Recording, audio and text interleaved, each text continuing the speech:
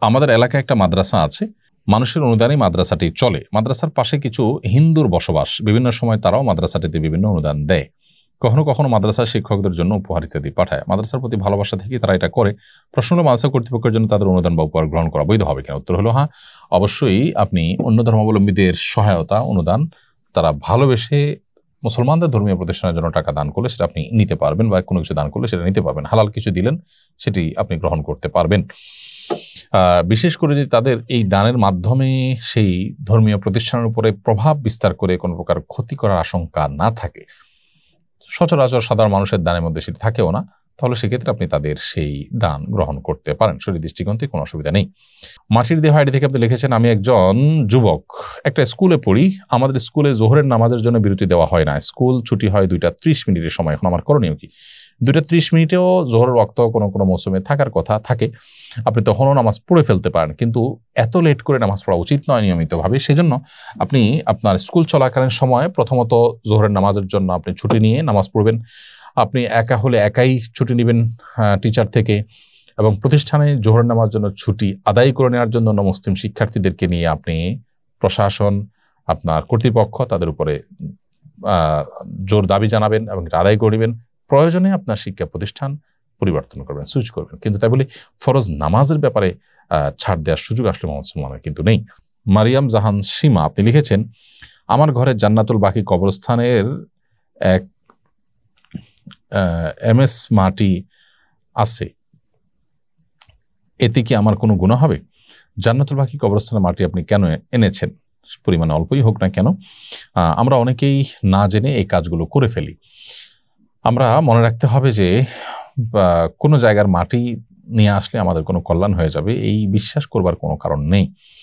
সাহবাইকরাম অনেকে এ জাতীয় বিষয়ে অনেক বেশি কঠোরতা অবলম্বন করতেন। বিশেষ করে আব্দুল নমর অনেক সাহাবিদেরকে দেখা যায় যে তারা অনেক বেশি কঠোরতা অবলম্বন করতেন। নবী করিম সাল্লাহ আসলামের বিরুদ্ধে একটি গাছ কেটে ফেলেছেন তিনি এবং অজুহাত দিয়েছেন বা কারণ উল্লেখ উল্লেখ করেছেন যে এইটাকে মানুষ একটা সময় যেভাবে মানুষ এখন থেকে সেটাকে অনেক বেশি শ্রদ্ধা করা শুরু করেছে, মনে হচ্ছে একটা সময় পুজো করে বসতে পারে। শিল্পের ব্যাপারে একজন মুসলিম সর্বোচ্চ সতর্ক থাকবেন এবং তিনি ভয় থাকবেন। নবী করিম সাল্লাহ সাল্লামের স্মৃতিতে কল্যাণ রয়েছে, সন্দেহ নেই।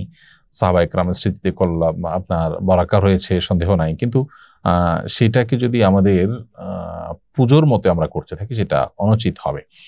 তো মদিনার যে বাকি কবরস্থান, যেটাকে আমরা জান্নাতুল বাকি বলে থাকি, এই কবরস্থানে এটার মাটিতে আলাদা করে কোনো কল্যাণ আছে, বরকত আছে মনে করে আপনি সেখান থেকে মাটি নিয়ে আসেন এটা মোটেও সঠিক কাজ নয়। অন্য কোনো হাজি সাহেবের মাধ্যমে আপনি সেটা আবার যথাস্থানে ফেরত দিয়ে আসবেন। যদিও এই সামান্য মাটি সেখান থেকে আনা বা না আনাতে কিছু আসে যায় না, কিন্তু ইমানদার সব ক্ষেত্রে দায়িত্বশীল হবেন আপনি। সেই মাটিটা কিসের ভিত্তিতে আনলেন? এই মাটিটা তো একটা ভ্যালু নিশ্চয়ই আসে, আছে সেটা পরিমাণে, যাই হোক না কেন। আর দ্বিতীয় কথা হলো যে মাটিতেই যে বারাকা বা কল্যাণ রয়েছে, এমনটি মনে করে বিশ্বাস করে যেটা আপনার অনেক উপকার করবে। এরকমটি বিশ্বাস করে রাখবার আসলে কোনো কারণ নেই। নবী করিম সাল্লাহ সাল্লামের সাহাবা ইকরাম তাবেন বা অন্যান্য যারা ছিলেন পরবর্তী যুগের স্বর্ণ মানবগণ, কেউ বাকি কবরস্থান থেকে বা মাটি এনেছেন, এমনটি জানা যায় না, কিন্তু তারা বাকি কবরস্থানে নিয়মিত যেতেন, তারা জিয়ারত করতেন। নবী করিম সাল্লাহ আমাদেরকে বাকি জিয়ারত, কবর জিয়ারত করার নির্দেশনা দিয়েছেন নিয়মিত সেই কবরস্থান জিয়ারত করতেন। কিন্তু সেখান থেকে বরকত লাভের জন্য মাঠে নিয়ে আসা নয়। আমরা আল্লাহর নামগুলো আল্লাহর কোন নাম জপলে কি উপকার হবে, কোনটা হাসিল হবে, সেটার চেষ্টা আমরা করতে দেখা যায় অনেককে।